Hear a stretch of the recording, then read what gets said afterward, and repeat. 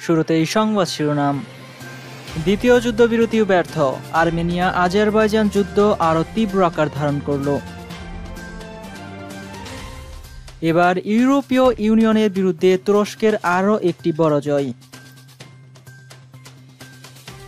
অভিবাসী ঠেকাতে তুরস্ক সীমান্তে প্রাচীর নির্মাণ করছে গ্রিস। অস্ত্র নিষেধাজ্ঞা উঠে যাওয়ায় রাশিয়া এবং চীনের সঙ্গে চুক্তি হয়েছে ইরানের। এবং সবশেষ থাকছে, ইরানের কাছে অস্ত্র বিক্রি করলে নিষেধাজ্ঞা দেওয়া হবে, বললেন মাইক পম্পেও। এতক্ষণ শুনছিলেন সংবাদ শিরোনাম, এবার চলুন বিস্তারিত জানা যাক। সব চেষ্টায় ব্যর্থ। দ্বিতীয়বারও যুদ্ধবিরতি কার্যকর করা গেল না নাগার্নু কারাবাখে। অভিযোগ, যুদ্ধবিরতি ঘোষণার কয়েক মিনিটের মধ্যেই আর্মেনিয়া এবং আজারবাইজানের সেনা যুদ্ধে জড়িয়ে পড়েছে। গোলাবর্ষণে ক্ষতি হয়েছে একের পর এক শহরের। মৃত্যু হয়েছে কয়েকশো মানুষের। ঘটনায় ফের উদ্বেগ প্রকাশ করেছে রাশিয়া এবং জাতিসংঘ। সপ্তাহ দুই এক আগে মস্কোই মধ্যস্থতায় সাময়িক যুদ্ধবিরতির চুক্তি করেছিল আর্মেনিয়া এবং আজারবাইজান। কিন্তু সেই চুক্তি ফলশ্রুত হয়নি। বরং যুদ্ধের ভয়াবহতা বেড়েছিল। গত রবিবার ফের দুই দেশকে নিয়ে শান্তি আলোচনায় বসেছিল রাশিয়া। রাশিয়ার পররাষ্ট্রমন্ত্রী সের্গেই ল্যাভরভ মধ্যস্থতায় নতুন করে যুদ্ধবিরতি চুক্তিতে সম্মত হয় দুই দেশ। ঠিক হয়, আগামী তিন সপ্তাহ একে অপরকে আক্রমণ করবে না কোনো দেশ। অভিযোগ, সেই চুক্তির কয়েক মিনিটের মধ্যেই নতুন করে যুদ্ধে জড়িয়ে পড়েছে দুটি দেশ, যার তীব্র নিন্দা করেছে রাশিয়া। আজারবাইজানের প্রতিরক্ষা মন্ত্রণালয় লিখিত বিবৃতিতে দাবি করেছে, চুক্তির কয়েক মিনিটের মধ্যেই আর্মেনিয়া আজারবাইজানের বেশ কয়েকটি শহরে গোলাবর্ষণ শুরু করে। রবিবার সারা রাত ধরেই গোলাবর্ষণ করে ধ্বংস করা হয় শহরগুলো। এর মধ্যে গুরুত্বপূর্ণ এলাকা হল টার্টার, জাখ জাবিদি আখদাম আজারবাইজানের প্রেসিডেন্ট ইলহাম আলিয়েভ জানান, অন্যায়ভাবে আর্মেনিয়া যুদ্ধবিরতি লঙ্ঘন করেছে। একের পর এক শহরের গোলাবর্ষণের পরে আজারবাইজানও তার উত্তর দিতে বাধ্য হয়। এদিকে আর্মেনিয়ার অভিযোগ, যুদ্ধবিরতি লঙ্ঘন করেছে আজারবাইজান। নাগার্নো কারাবাকের যোদ্ধাদের দাবি, যুদ্ধবিরতি কার্যকর হওয়ার কিছুক্ষণের মধ্যেই কারাবাকের মার্তুনি এবং আরও চারটি গ্রামে গোলাবর্ষণ শুরু করে আজরি সেনাবাহিনী। আর্মেনিয়ার সেনা কারাবাকের যোদ্ধাদের মদত দিচ্ছে। যোদ্ধাদের সমর্থন করে আর্মেনিয়ার সেনা জানিয়েছে, আজেরি বাহিনী হামলার চালানোর পর সমান জবাব দেওয়া হয়েছে আজারবাইজানকে। আজারবাইজান জানিয়েছে, এখন পর্যন্ত নাগার্নো কারাবাকের ষোলোটি এলাকা তাদের সেনা দখল করতে পেরেছে। আর্মেনিয়া অবশ্যই আজারি সেনাদের এই দাবি মানতে রাজি হয়নি। অন্যদিকে, আর্মেনিয়াকে সাহায্য করার চুক্তিতে আবদ্ধ হয়েছে রাশিয়া। রাশিয়া বহুদিন ধরেই শান্তির প্রচেষ্টা চালিয়ে যাচ্ছে। রাশিয়া, ফ্রান্স এবং আমেরিকা যৌথভাবে মধ্যস্থতার চেষ্টা করছে, কিন্তু এখন পর্যন্ত যুদ্ধ বন্ধের কোনো সম্ভাবনাই দেখা যাচ্ছে না।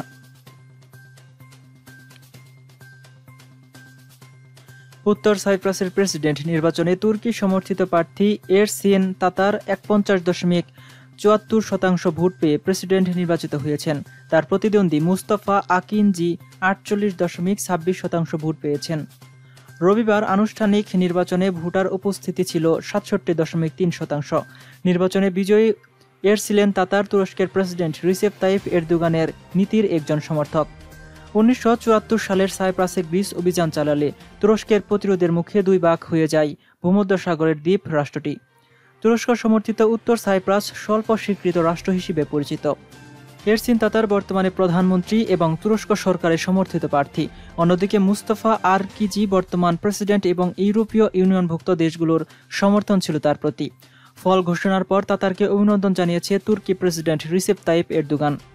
টুইটারে দেওয়া এক পোস্টে তিনি বলেন, প্রেসিডেন্ট নির্বাচিত হওয়ায় আমি এরসিন তাতারকে অভিনন্দন জানাচ্ছি।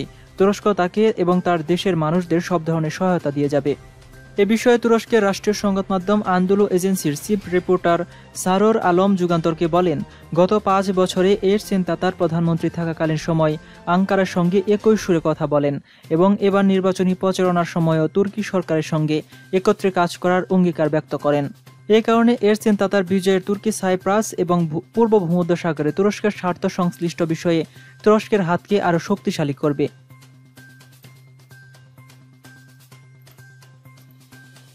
অভিবাসীদের অনুপ্রবেশ ঠেকাতে গ্রিসের সরকার দেশটির উত্তর পূর্বাঞ্চলে তুরস্ক সীমান্তে প্রাচীন নির্মাণের পরিকল্পনা চূড়ান্ত করেছে। অভিবাসীরা ইউরোপীয় ইউনিয়নের এই দেশটিতে ব্যাপক হারে অনুপ্রবেশ করতে পারে। এমন উদ্যোগ থেকে প্রাচীন নির্মাণের পরিকল্পনা নেওয়া হয়েছে বলে জানিয়েছে এথেন্স। সোমবার গ্রিসের সরকার মুখপাত্র স্টেলিওস পেটসাস বলেছেন, আগামী বছরের এপ্রিলের আগে তুরস্ক সীমান্তে আরও ২৬ কিলোমিটার প্রাচীর নির্মাণ করা হবে। চুয়াত্তর মিলিয়ন মার্কিন ডলার ব্যয় করে প্রাচীর নির্মাণের এই প্রকল্প বাস্তবায়নের সিদ্ধান্ত হয়েছে। দেশটির উত্তর পূর্বাঞ্চলের এই সীমান্তে গ্রিস আগেই দশ কিলোমিটার প্রাচীর নির্মাণ করেছে। ইউরোপীয় ইউনিয়নের প্রবেশের চেষ্টাকারী অভিবাসীদের আর বাধা দেয়া হবে না বলে চলতি বছরে তুরস্ক ঘোষণা দেওয়ার পর দেশটির সঙ্গে সীমান্ত গ্রিসের বিরোধ তৈরি হয়। তুরস্কের এই ঘোষণার পর লাখ লাখ অভিবাসী সীমান্ত পেরিয়ে গ্রিসে প্রবেশের চেষ্টা করে। এছাড়া ভূমধ্যসাগর পূর্বাঞ্চলে জ্বালানি মালিকানাধীন দাবি ঘিরে দুই দেশের মাঝে বিবাদ দেখা দেয়।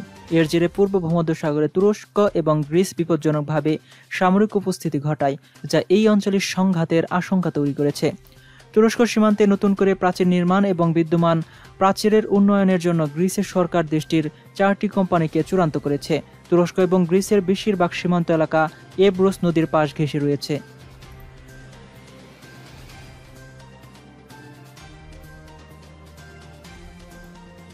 ইরানের প্রতিরক্ষা মন্ত্রী ব্রিগেডিয়ার জেনারেল আমির হাতামি বলেছেন, তার দেশের উপর থেকে জাতিসংঘের অস্ত্র নিষেধাজ্ঞা উঠে যাওয়ার পর রাশিয়া এবং চীনের কাছ থেকে সমরাস্ত্র কেনার ব্যাপারে দুই দেশের সঙ্গে চুক্তি হয়েছে। তিনি কাতার ভিত্তিক আল জাজিরা টেলিভিশনকে দেয়া এক সাক্ষাৎকারে এই অগ্রগতির কথা ঘোষণা করেন। তিনি বলেন, ইরানের বিমান বাহিনীর সম্প্রসারণ এবং উন্নয়নের ব্যাপারে মস্কোর সঙ্গে তেহরানের গুরুত্বপূর্ণ চুক্তি হয়েছে। ইরানের প্রতিরক্ষা মন্ত্রী বলেন, জাতিসংঘের নিষেধাজ্ঞা উঠে যাওয়ার ফলে তার দেশের অস্ত্র রপ্তানি এবং অন্য দেশের কাছ থেকে অস্ত্র আমদানি করার উপযুক্ত সুযোগ সৃষ্টি হয়েছে। একই সঙ্গে তিনি মধ্যপ্রাচ্য সমরাস্ত্র প্রতিযোগিতা শুরু করার ব্যাপারে সতর্ক করে দিয়েছেন এবং বলেছেন এই অঞ্চলে অস্ত্র প্রতিযোগিতা শুরু হলে গোটা মধ্যপ্রাচ্য বারুদের স্তূপে পরিণত হবে। জেনারেল হাতামি বলেন, তার দেশ পারস্য উপসাগরীয় দেশগুলোর সঙ্গে সামরিক এবং নিরাপত্তা চুক্তি স্বাক্ষর করতে প্রস্তুত রয়েছে। আল জাজিরাকে দেওয়া সাক্ষাৎকারে ইরানের প্রতিরক্ষা মন্ত্রী তার দেশের উপর দিয়ে আর্মেনিয়া, রুশ অস্ত্র বহন করার গুজব জোরালোভাবে নাকচ করে দিয়েছেন। তিনি বলেন এই অঞ্চলে একটি গুরুত্বপূর্ণ এবং প্রভাবশালী দেশ হিসেবে তুরস্ক কূটনৈতিক উপায়ে নাগর্ণ কারাবাক সংকট সমাধানের চেষ্টা চালাবে বলে তেহরান আশা করছে। আরেক প্রশ্নের উত্তরে জেনারেল হাতামি বলেন, ইরান তার ক্ষেপণাস্ত্র কর্মসূচি নিয়ে কোনো অবস্থায় আমেরিকার সঙ্গে আলোচনা করবে না। কেউ যেন তেহরানের কাছ থেকে এমন কিছু আশা না করে।